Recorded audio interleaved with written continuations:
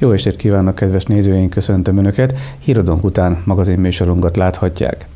Az elmúlt héten programsorozattal ünnepelte fennállásának 40 éves évfordulóját a Vizikék és Zöldikék óvoda. Mai magazinunkban elsőként erről számolom be Önöknek. 40. születésnapját ünnepelte a Vizikék-Zöldikék óvoda az elmúlt héten. Milyen jelentős eredményeket lehet felsorolni?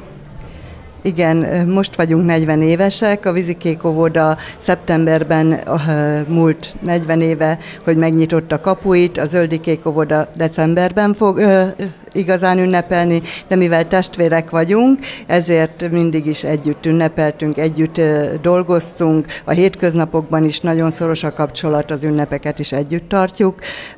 Nagyon sok jelentős esemény volt előttünk már, amin túl vagyunk, és most a következő lépés, amit szeretnénk elérni, az a tehetségpont kialakítása, hiszen ott van a tanúszoda, amely nekünk egy nagy kiváltság, nagy nagyon szeretjük, nagyon szívesen veszik a gyerekek is, hogy oda járhatnak.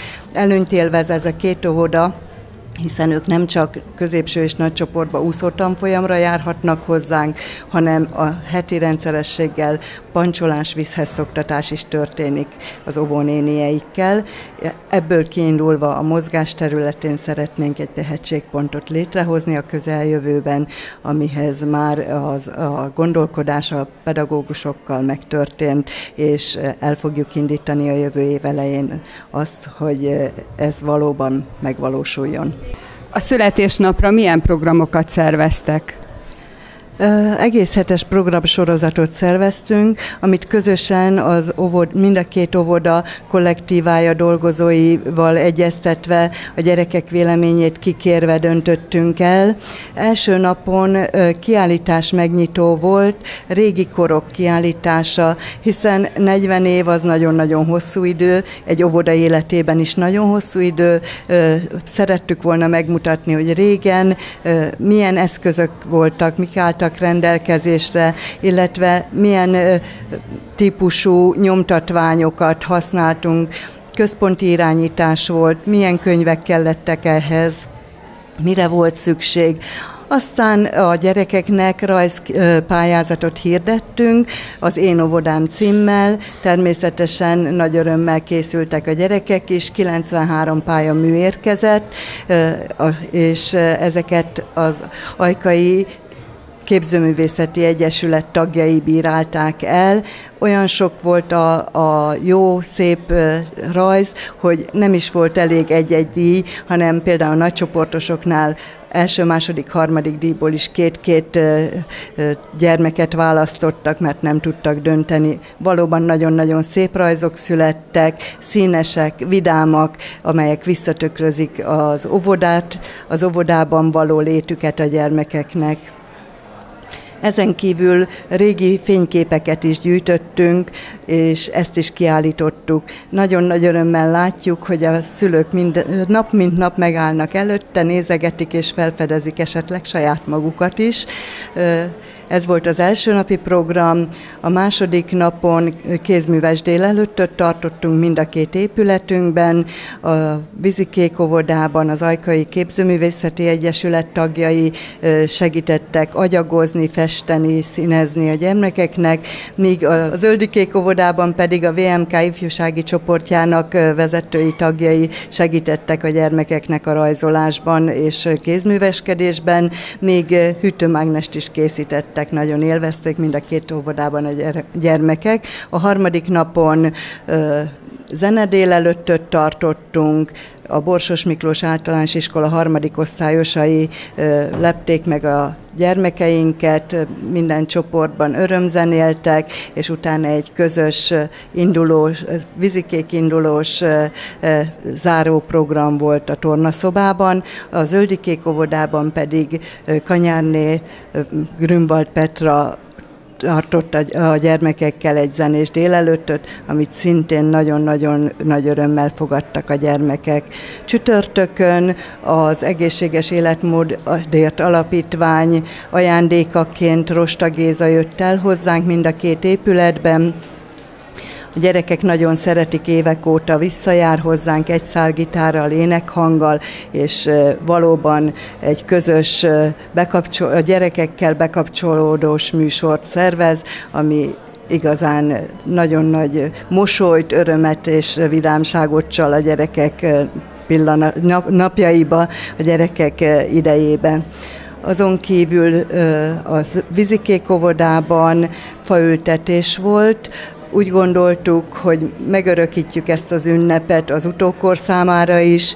Egy olyan fát választottunk, amely nagyon sokáig, talán a következő 40 évben termést is ad az óvoda itt lévő kis nebulóinak, diófát ültettünk.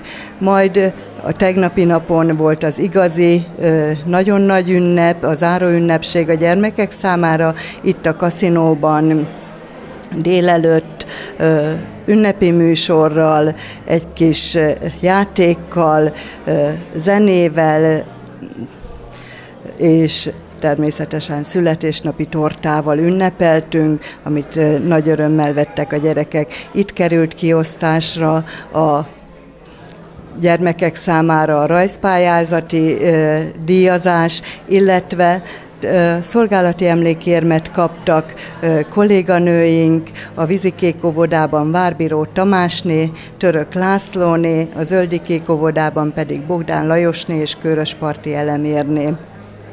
Ők a 40 évet szinte valamennyien itt kezdték a mi intézményünkben, megbecsült kolléganők, felnézünk rájuk, és valóban úgy érzem, hogy megérdemlik majd a, meg, a pihenést, amely elérkezik számukra.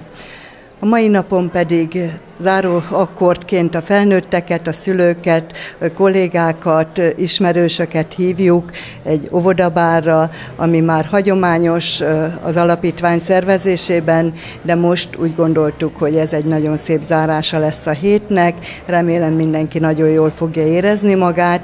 Egy kicsit változtattunk a programon, most az Ikon Művészeti Egyesület két tagja fog nekünk musicalt énekelni, majd 10 óra környék környékén a Vizikék óvoda, illetve külön a Zöldikék óvoda alkalmazotti közösségéből vállalkozó szelleműek egy-egy vidám műsorral fogják köszönteni az itt lévőket, aztán hajnalig tánc, zene, és remélem, hogy vidámság. A 40 év az nagyon hosszú idő. Mi minden történt ez alatt az idő alatt?